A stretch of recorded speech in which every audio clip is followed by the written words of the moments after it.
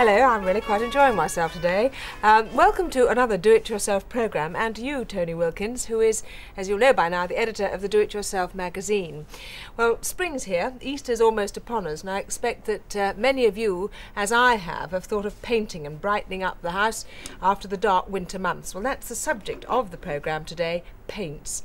And what I've been using there, Tony, is an enamel paint which children could possibly use for things like this, for Easter presents, couldn't they? Yes, you're using probably the simplest paint of all there, Judith, in that um, it doesn't need any uh, primer or undercoat underneath. You see, you're putting it straight onto the wood there. Yeah.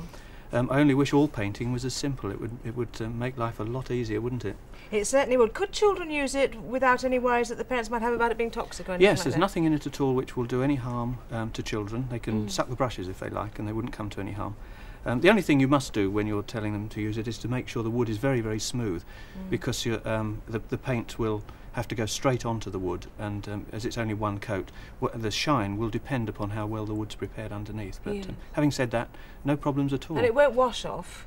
Um, no, it won't wash off. You can put it in water and scrub it. It'll be perfectly Really? right. Yes. And you get a, an idea of the covering power on that one there, I think um, this is super. An egg holder, isn't it? that's only one coat of paint on there, and it gives an idea that um, you, one coat may well cover it, or two, Yes. two at the most. Yes. And what about sort of expense? It is an expensive paint, isn't it? It is an expensive paint. so you paint. couldn't go mad yes, with it um, all over the house. It's, it's, um, it would be the ideal paint to use all over the house if you could afford it, but you can't. It, um, Mm. is a, a, a very expensive process, and because of that, it's very finely ground, and that's what makes it um, usable without a primer.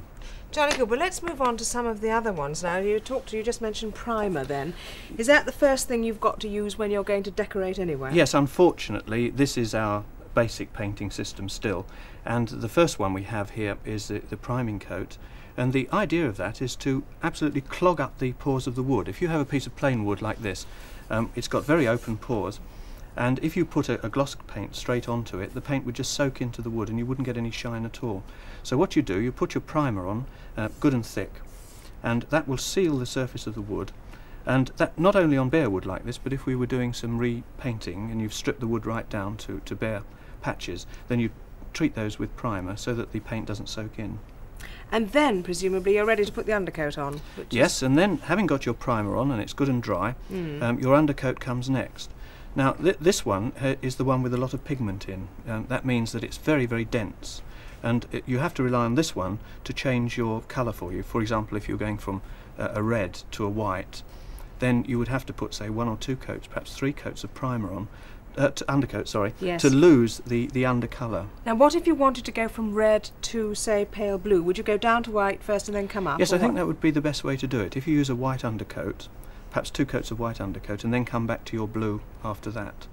But, so um, two coats, possibly. You'd have to use your own judgment on yes, how many you do. yes. Um, have a good look at it when you've got it on, and if you can see any colour through at all, still, then it must be an undercoat which you put on, because when you come to your gloss coat, this is purely a protective coating which goes over the top of the paint. It's almost, if you like, like a varnish, and it's got very little um, covering power. So if you if you did try and put it over a colour, you would see the colour through it. And this is where a lot of people fall down. They think, oh well, it's nearly covered. Let's put two coats of, coats of gloss on, and um, it'll be okay. But it isn't. You, you see this horrible grinning through of the paint. And that's harder to apply too, isn't it? Don't you think the gloss paint seems Oh, I- to I- be? It, it shouldn't be harder in Shouldn't that it? it's it's much thinner. It drips more. You'll find Yeah. that this is the one Perhaps that drips all what I over the place. Yes. Um, and you don't have to have it in gloss, of course. This one is a very high gloss, but you could have it in a m- more matte finish than that. You could have an eggshell. But we tend to favour a lot of gloss in our country, don't we? Um, yes, it's, it's traditionally British that we have a very high shine, and, and many continental countries can't understand this. They would be quite content with a, a, a flatter surface on their paintwork. but, Such as um, you say, the eggshell, because that is the as the same sort of job that an eggshell paint does as the gloss, Exactly but it just doesn't give you the high But shine. it doesn't give you the shine, that's right. Good. So you'll probably have a choice of three. You'll have eggshell uh, and satin and gloss, Mm. and you can take your pick between how shiny you want it. You But it is basically in the same paint. Good. Well, I'm glad to have sorted that out because that area's always confused me. Do you always have to use undercoat and gloss, or can you do it in one operation? Well, you can do it in one operation. Some years ago, a paint was designed which incorporates both the undercoat and the gloss coat, and really for amateur use. Um, and, and that's this one here. And it's called Thixotropic, and it's just a very complicated way of saying that it's a jelly paint. And you can see that you, you can, in fact, tip it upside down. I'm not going to, but Mm. you can tip it upside down, and it shouldn't drop out of the tin. Now, as soon as you start to stir it, which you don't have to, by the way. Um, your, but your brush will do this when you're using it. As the paint is picked up on the brush, it liquefies, and then as it's put onto the surface, it looks terrible like that, but there are no lumps in it, I assure you. Um, but as it goes onto the um, onto the surface, then it will um, spread out and thicken again. So you don't get drips and you don't get sags. That's the principle anyway. So that's why you're saying it's good for the amateur to it's use. It's very good for an amateur who sloshes it all over the place. But would you prefer to use that, or would you rather have the undercoat and the gloss? Or no, I still maintain that this system, Mm. um, these two, will give you a better surface finish than this one in appearance. Th- this is a little bit like painting with golden syrup, if you know what I mean. Mm. You get a sort of thick, treacly look to it because you're putting it on that much thicker. Uh, whereas if you can put two thinnish coats on, you, do get a, better nicer, result a nicer result. Yeah. But for amateur use, yes, this is the way to start, and then people cr- progress from this onto onto the other one. What about emulsion paints? Because what exactly does emulsion paint? It's what you put on the walls, emulsion, isn't it? Yes, this is the one that's been with us for a long time now, and it merely means that the, the paint is suspended in water instead of in oil. And of course, this has got tremendous advantages because um, you can wash your brushes out in water. Um, it hasn't got that horrible oily smell which upsets so many people when they're painting. And some Um, people are allergic, aren't they, to yes, the smell of paint? and if they have a chest complaint, um, it can be quite serious, you know. Mm. So uh, an a water-based paint is much better in that you, you just rinse your brushes in water, and of course it dries much quicker too. Um, a coat of emulsion paint will be dry in say 10 minutes, whereas a coat of your, your oil gloss would probably take all night. It'd take 24 hours before it's really dry. Mm. So you're working much quicker. So that's the basic emulsion, as was, sort of thing. But now sorts of things have happened to it, haven't That's they? right, yes. From this, we're now getting a, a whole new family of paints, which I feel, perhaps within the next 10 years, will have pushed all these out of the way. And that's the, the emulsions, uh, water-based emulsions, but with more gloss. This is, we tend to think of this as rather a flat sort of paint, if you imagine it on the wall. But they are able to put a, um, a sheen in it, or they're able to add other things to make it more durable.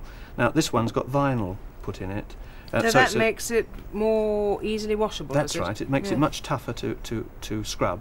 It'd be ideal for children's rooms. Mm. Um, Let's have a look at that one. That's what. yes, that's vinyl that's, matte. that's called vinyl matte. Mm. So you'd, although you'd have the same fin- appearance of, as this one, um, you would have a much tougher paint in that it's Mm. now got vinyl in it as well as the acrylic. Mm. Um, And what about that? That's a vinyl gloss, is it? Or is yes, that the next yes. one thi- up, or this one is oh, the next silk one, and that's um, that's vinyl silk. So what they've done here, they've taken this one and put some more shine in it. So if you want something which is a bit shinier than this one, then you, you go onto your silk. But th- this area to me is terribly confusing because there are probably 10 or 12 different names Yes. um, which mean absolutely nothing except the manufacturers like them. Um, and they don't tell um, you what paint you want, you know. So if you're going to paint the wall and you want something which has got a bit of shine on it, then it's best to ask the shopkeeper. And I want I want an acrylic paint which has got some sheen to it, not matte. Mm. What have you got? and he'll give you a something that I can wash and wipe as That's well. That's it, and he will give you the names of ones which will do the job.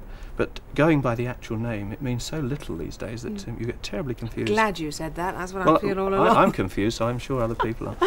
Well, Um, yes. and this this is the ultimate. You see, this is called a vinyl gloss. Mm. And what you've done here, you've taken your emulsion paint and you made it very glossy, or as high, highly glossy, and you can now use this in place of this one, which is your gloss paint, and um, mainly indoors. But um, Mainly indoors. yeah, but um, you can use it out of doors as well. Certain manufacturers look on the tin, see what they say. What about the polyurethane one? Is that tiny little thing? Is that for use out of doors more? Uh, yes, that's that's a very tough. tough, paint. Um, it's out of this family really, but it comes into this plastic range, and you'd use this on anything like um, stools in the kitchen, metal stools. Where you're going to scuff a lot, really perhaps. tough wear. Garage doors, absolutely marvellous on metal garage doors. Um, very, very tough paint indeed. And that anti-condensation one is perhaps comes into the area we were talking about with the damp. That's the right, where we were talking about condensation on walls. This one you would put on the wall, and it would um, absorb some of the condensation, and Mm. it's so, it's rather rather granular. It soak into the paint a little, and then when the room gets drier, the the, the moisture will evaporate off again.